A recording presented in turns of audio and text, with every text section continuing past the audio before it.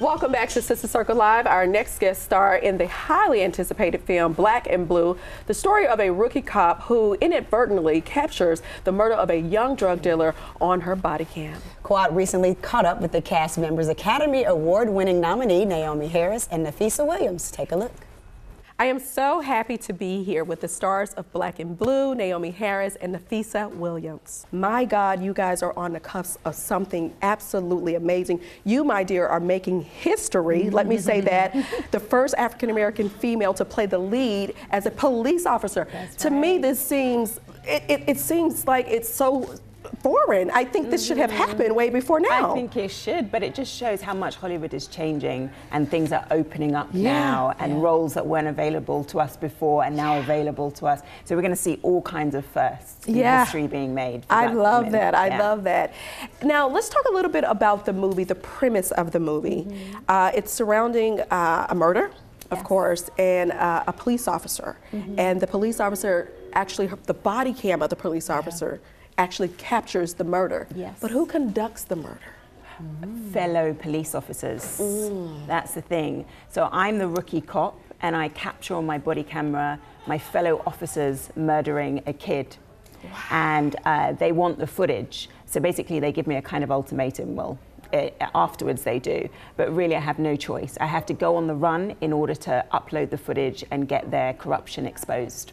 Wow. Yeah. Mm-hmm. Wow. Mm-hmm. That's a huge position to play. Yeah. And, and I and I gotta believe, you know, at playing in that that character, you were probably torn. You know, do you go with you know your oath that you took with the rest of the police officers, or do you stand for what's right? Well, interestingly, my character is not really torn because she really is so clear in her convictions. She's really the moral compass of the movie, and she knows from the very beginning that this is wrong, and she's going to stand up for what is right. But where she is torn is because the black community that she grew up in reject her because they see her, her as a kind of traitor because she's joined the police force. Right, So she's rejected by her own police force because obviously she's got the footage, and then she's rejected by the community that raised her. So it's a really tricky It- position. it's really long suffering for her, to, It- to be honest yes. with you, and she mm, won't really Yeah. become validated until pretty much the end of the film. That's right. Nafessa, so tell me exactly what compelled you to be a part of this film.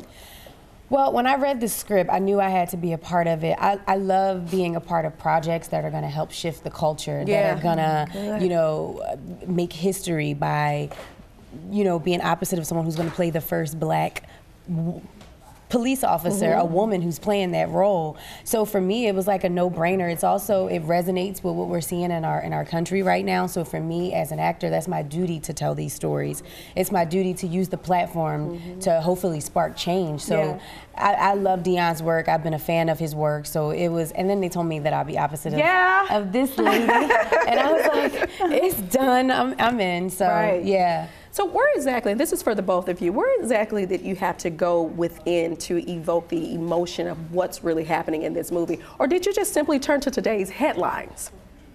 For me, it was Yeah. simply turning to today's headlines. Yeah. And, um, you know, uh, I think so often people think that what's happening in the UK is drastically different from what's happening in the US. Absolutely. But actually, we have the Black Lives Matter movement. Really? We have unexplained um, deaths of black men, particularly Yeah. in, in police custody, and there hasn't been a single arrest for any black death that's occurred in police custody ever.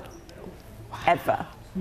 So um, we have the same situations, and, and it's easy. You know, we are outraged and uh, devastated by all the losses that have occurred, and so it's it's not hard. I didn't I didn't find to find those kind of emotions and empathy and compassion and rage as well. Yeah, no, for me, I needed an outlet. I'm over it. I'm over feeling hopeless. I'm over feeling like this is just happen happening to us. And when I say us, uh, the, the black culture, just because of us being black. So for me, it was really, really easy to tap into and let some of those emotions out. As you can imagine, I believe we become desensitized just scrolling through our timeline and it's like up another one, another one, and I'm sick of it. So Yeah. I was really happy to, to give my emotions over to this film. And just being from Philly, growing up in the inner city, you know, dealing with issues within the police department and seeing friends having to go through issues and, you know, interactions with the police that end up horrific. Yeah. Uh, so, yeah, I mean, it's real life experience you just put into it. My God. Yeah. Well, we will have more when we return. You don't want to miss it. Stay right there. Hey, You look like hell. Where's your ride at? It's a long story. All right, come on. Let's go. Let's get you out of here. Are you injured? Come on, we got you. She's in Brody, we found West. We got her. He's a second into Neil. It's all right. We got you. West. Hey, don't be stupid, West. All he wants is the body cam. That was a clip of the movie Black and Blue, which opens nationwide today. And we are joined right now with the director of the movie, Deon Taylor. Yes, I'm Thanks on for being here. With my sisters. Yes, you are. Yes, you With my are. sisters. We are so pleased to have you here. And, and, and, and as I spoke with him earlier, this is something that we actually see every single day and has now become what's been the overriding culture of what's happening in America. Why was it so important for you to take it to the big screen? You know, I the, the script was amazing. First off, I thought, you know, what an interesting film, and obviously, I was really, really taken uh, by the fact that it's the first time we've ever seen an African American female lead as a cop. So that, that was when I originally jumped in. Yeah. Uh, but when I started reading the script more, and my head went crazy because I'm crazy. Um, I just was like, man, this is this is polarizing. Yeah. It's interesting, like to be able to live in these different worlds and see the conflict between black and blue. And you know, ever since I was little, I could just remember like being in the car with my mom and the police pulled behind us, and it's like everybody got to sit straight, don't Yeah. move. You know, everybody reaching for the seatbelt. I'm like, I mean, we we've been living in fear. And I don't know why it's like that. And, Yeah. I, and and when the movie came and the script came, I was the first time I really, just as a black man, said, Deon, you need to let's look at why this is like that. You know what I mean? Let's why why is it generational? I mean, literally, we're programmed We to do that. It's like and- turn, and- the, turn the music it down. And I'm a big dude. I walk down the, the street. If a cop is coming that way, I go the other way. Straight You up. still do that to I this still day. like, or you tense up a little bit, or you like, I hope he don't. Yeah. And and that's a, that's terrible. But but but it's, isn't it in a sense almost like a level of inferiority? Yeah. Is, is what we have been stricken with as an African American community. Yeah, yeah. Well, it's systemic. Um, what ultimately happens a lot of times is, um, like I said, it's generational. Like my mom, you know what I mean, and just little. These things are taught to us, Mm-hmm. and and it just becomes part of the regular everyday routine for us as a culture. Right. And what I think is so dynamic about the movie is it basically explores that with the black female police officer. Absolutely. And she basically says she's going to be different than that. And she absolutely Yeah. is. Congrats to you and your character. Yes, I should jump out I'm this seat right now. you. I'm excited. I'm happy. I'm sorry. I'm so sorry. Sorry, Sister Circle. Sorry. but but listen, like honestly, I really want to just dive a little bit deeper because here it's it's not like uh, you know black on black crime or No. anything. We've seen that. Uh, this truly is. A, a good police cop mm. versus bad police officers. Mm-hmm. So, you know, just the, the level of turmoil within itself. Mm-hmm. Yeah. You know, and then now your character is going to be ostracized for that. That's mm-hmm. right. That's right. Well, she's fighting for change. Mm. That's what's happening inside the movie. And that's what needs to happen inside of the real world, right? Basically, the reality is integrity, being human. Yes. When do we go back to basically being regular people? So the reality is now, boom, you're a cop, you go around the back of someone's house, you shoot in the window, you kill someone, I'm behind you with my body cam rolling. The right answer is not for me to turn my camera off and look at you and go, what we gonna say? Correct. the right answer, the right answer leave my camera and be like, yo man, you just messed up. Right. And you killed somebody.